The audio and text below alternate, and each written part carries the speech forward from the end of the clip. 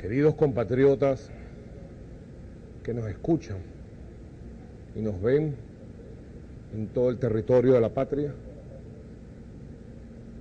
y nuestros hermanos del mundo.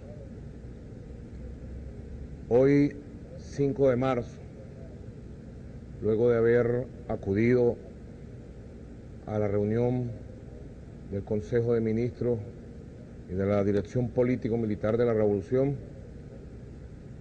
nos dirigimos aquí a las instalaciones del Hospital Militar de Caracas.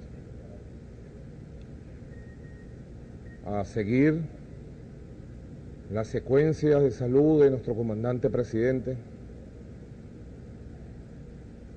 Y en el momento que nos encontrábamos recibiendo parte, acompañando a su hija, a sus hermanos, a sus familiares, recibimos la información más dura y trágica que podamos transmitir a nuestro pueblo. A las 4 y 25 de la tarde de hoy, 5 de marzo, ha fallecido el comandante presidente Hugo Chávez Frías.